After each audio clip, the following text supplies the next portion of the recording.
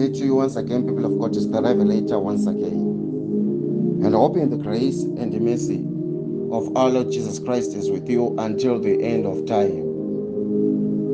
We meet once again in the conference, the realms of prayer, the prayer realms, where I'm ministering in the spirit of intercession, where I am interceding in the word ministration. And as I am presenting the realms of prayer conference, I'm also praying so that we are given the adequate knowledge, the understanding, the beneficence that is required inside your spirit as the Holy Spirit ushers me at every step of the way, at every stage, to equip you inside your spirit so that you're given the relevance, the reference, and the significance of the Holy Spirit inside the conviction of your spirit. Welcome to the seventh segment, the seventh edition, the part seven presentation inside the realms of prayer conference in the season and the series, the intercession assassin, and praying that you are given the liberty and the freedom in your spirit to grow in your prayer life to go to go beyond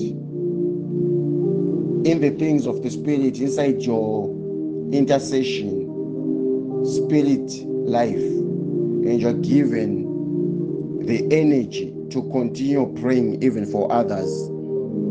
In the seventh segment let us get into scriptures in the book of Luke chapter 4 verse 1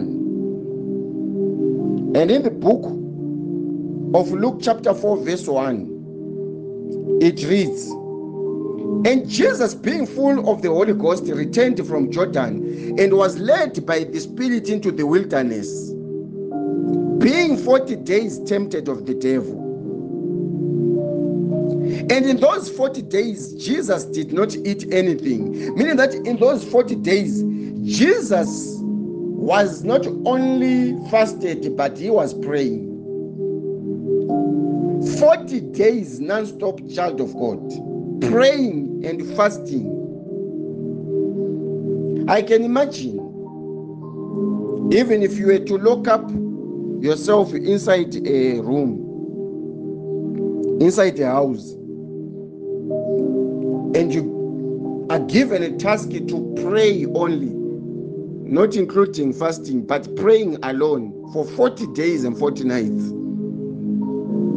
If you are going to be able to complete 40 days praying consistently without seeing the sun.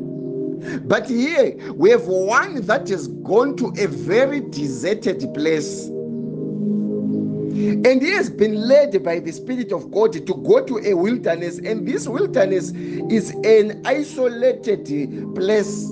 I know that so many times when people read this part, they think it was just a mountain. This was a deserted place, a wilderness, where nothing fascinating or entertaining, where nothing that is eye attracting, where nothing that is seducing can be found. And there he was praying every day for 40 days non-stop. On top of that he was fasted. You need to grow up in the spirit to reach those levels but again you cannot grow up in the spirit to attain such levels.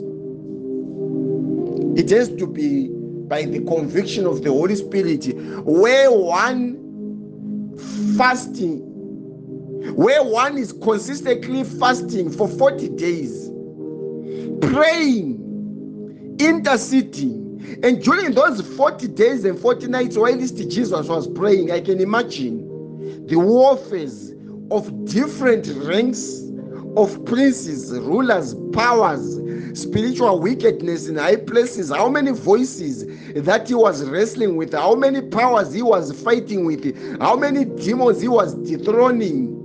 For 40 days and 40 nights up until the last day, which was day number 40. Which the scriptures then say on day number 40, he was now hungry. Why? Because after 40 days and 40 nights, the fact that he is not only the Son of God, but the fact that he came in the flesh, he was now hungry. That moment, when you have devoted your life in prayer and fasting, that moment when you have devoted your spirit in the things of prayer, and the devil wants to recommend. The devil wants to come up with his own suggestions. Why? Because he has seen that there is a lack, there is a need, there is a requirement that is now ringing a bell inside your spirit. It could be anger, the same anger that Jesus felt. It could be lack in the sense that you don't have much when it comes to material belongings. This anger represents a lack that can happen to any believer, but that lack does not mean that you are poor. There are moments of, of nakedness in your walk with Christ. Just the same as when one is fasting, it doesn't mean that they are lacking. One can be fasting, but one has got plenty of food in the house. But the fact that you have devoted your spirit you have devoted, you have concentrated your mind. You have dedicated that day because you want to pray and fast. So you are going to restrain yourself. You are going to restrict yourself from eating. So that is the same thing with the life of a believer. You are not always restricted because you are poor, but because God wants to see how much strength, how much resistance do you have against the devil. For 40 days and 40 nights, Jesus has been praying and fasting. And when the devil comes on day number 40, he comes attacking that very area that he knew that he, now I know that Jesus is now hungry. The devil will come and address those areas that are in need on day number 40 in your life. He will come whilst you are interceding on day number 40. You come on day number 30 whilst you are now feeling exhausted and tired. The devil, when he comes inside your prayer life, he wants to come and search for those things that you don't have. He come he comes to search for those things that are causing you to lack in a certain area. But Jesus is not lacking. He is devoted in prayer. He has subjected his spirit into prayer and fasting. But the fact that he is now hungry on day number 40, the devil then comes and says, If you are the Son of God, command that this stone be made bread. On day number 40 in your life, the devil wants you to address material things. Whilst you are in an intercession, you are probably in a one hour intercession, and the devil comes and whispers and says, Do you even have money to pay rent this month? Whilst you are in an intercession, you are interceding, you are praying, the devil reminds you of the things that your wife has done, the things that have caused you to be bitter, the same things that have frustrated you. Whilst you are praying and fasting, the devil reminds you of how your husband is cheating. Whilst you are on day number 40, the devil comes and start spelling those things that you don't have in life and even create comparisons inside your thoughts. How come you don't have this and this? You don't have a house, but others that you went with at high school, others that are your workmates, they have now developed in those areas in that area. All these are thoughts that are being brought by the devil inside your mind, heart, and spirit whilst you are praying on day number 40. Day number 40 in your life It represents those moments when you have developed in prayer, when you have reached a certain level of prayer, when you have reached a certain level, but while you are, you are at that level, don't ever think that you are safe. It is the same moment that the devil comes with his own convictions and says, If you are the Son of God, command that this stone becomes bread. Why? Because I know that you are now hungry. I know that you now need bread. And Jesus answered him and said, That man shall not live by bread alone, but by every word of God. When Jesus says, Man shall not live by bread alone, before we can even talk about just the word of God alone, men shall not live by bread alone, but by prayer and fasting, because he, he already found Jesus praying and fasting without that bread but he believes that Jesus needs the bread. So before we can even talk about the word of God, you already found me praying and fasting. How was I surviving without bread? So Jesus is uh, giving the devil a point of correction. Men shall not live by bread alone, but by prayer and fasting. Men shall not live by bread alone, by, but by every word that proceeds out of the mouth of God. In case you did not hear the word of prayer. You did not hear the word of fasting, but there is the word that proceeds out of the mouth of God. It is what I'm now giving you. And the word that proceeds out of the mouth of God, it is to come out of a man that is prayerful. It is to come out of a man that is consistently fasting. This is why the devil had to wait for 40 days. He really wanted to see, are you able to continue praying? As you were doing throughout the last 39 days before we can even talk about the last day number 40 that I have arrived. Are you able to consistently continue praying and fasting? Are you is there consistency that can be recorded inside you in whatever you are doing? That is what the devil was searching for. So he waits for Jesus on day number 40. And Jesus says, Men shall not live by bread alone, but by every word of God. And the devil taking him up to a high mountain showed him all the kingdoms of the world in just a moment. And the devil said unto him, All this power I'll give you, and all the glory, for it has been delivered unto me. And I'll give whosoever I want. Listen to me, child of God.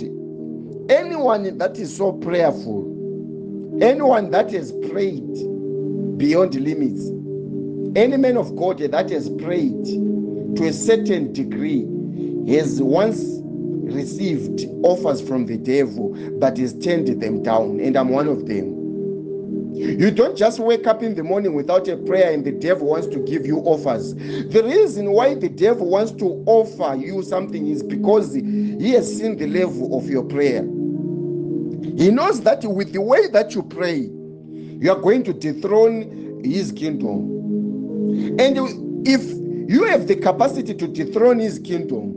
He has to dilute your prayer by giving you offers. The devil knows what happens when Christians are given offers from the kingdom of darkness. They are diluted. They are diluted. They are not energized anymore in their prayers. This is why most Christians are now doing empty prayers. And the Lord says, with their lips, they honor me, but their hearts are far away from me. Why? Because they are praying. Whilst their spirits are far away. And here Jesus has been lifted up into another realm. This realm is not the realm of praying and fasting. This realm is no longer a realm of intercession. This realm is now the realm where Lucifer has been allowed by God Himself to test Jesus. Since you have been praying for the last 40 days, I'm lifting you up to a realm of materialization. This is the realm that many men of God were defeated, especially prophets. They believe that the breakthrough of a, of a ministry comes through material belongings. And they've been lifted up in the second temptation after prayers and fastings. And the devil declares the material things of this world and they fall for it. And do you know what happens when you fall for the second temptation? All the prayers that you're doing from day one, they are cancelled. Why? Because all the prayers that you're investing in the spirit, the devil is able to take all of them. Prayers, they are investments that are done in the realms of prayer. In the realms of prayer, there are investments of prayers that are continually banking up. And as they are continually banking up, the devil is merely waiting for an opportunity to come with offers. I don't know how many offers that I've declined. And while you are declining those offers, it appears as if you are not wise, but this is the level of wisdom that Jesus said. Jesus knew that eh, for God loved the world so much that he sent his own son, he sent him to save the same world. So that the same world through the same Christ would not get destroyed, it It would not perish. But now the devil wants to offer him that world just to cancel the prayer that he did for the last 40 days. And Jesus, after seeing the plan of the devil, he said, Get thee behind me, Satan. For it is written, Thou shalt worship the Lord thy God. Why? Because Lucifer wanted Jesus to bow down. By bowing down, what it means is that Lucifer wanted Jesus to pray to him. What the devil is fighting in Christians, in believers, in saints is their prayer. Their prayers unto the Lord, the prayers of the saints unto the Lord is what the devil is fighting. So he's trying to change the destination of the prayers. Is the business of the devil is not stopping the Christians from praying. He wants to stop the prayers from praying unto their Lord. He is not stopping them from praying. He wants to divert the prayers that the Christians are doing so that those prayers they become vain prayers that end in the realm not of prayer but in the realm of darkness. And Jesus said, Thou shalt not only worship thy Lord, but thou shalt, thou shalt pray only to the Lord God that is alive, and him only shall you serve. And he brought him up to Jerusalem and set him on the pinnacle of the temple. Remember, the temple is known as the house of prayer by Jesus. And that this is exactly where the devil then decided to bring Jesus. And then said, Cast yourself from this position for it is written, He shall give His angels charge over you to keep you in your hands, lest at any time you dash your foot against a stone. And Jesus answered and said, You shall not tempt the Lord thy God. Why? Because there are many that have now tempted the Lord in their prayers. What is tempting the Lord in your prayers? You overuse, you misuse, you, you overspend money, you live a reckless life Uh, and you have got that silly statement of saying God will provide. What is tempting the Lord? You fight against certain systems, you provoke certain powers at a level that you have not reached. And when you're in trouble, you expect the Lord to save you. Imagine Jesus being the Son of God, he did not throw himself even though he knew that he had the power to call the angels to come and rescue him, he didn't. There are certain levels that you must never test God, child of God. You must never allow pride inside your prayer. Pride is not allowed in your prayer. In as much you're not supposed to allow lust, the lust of the flesh inside your prayer. The last of the eyes while you are praying. This is why when men and women are praying, they close their eyes.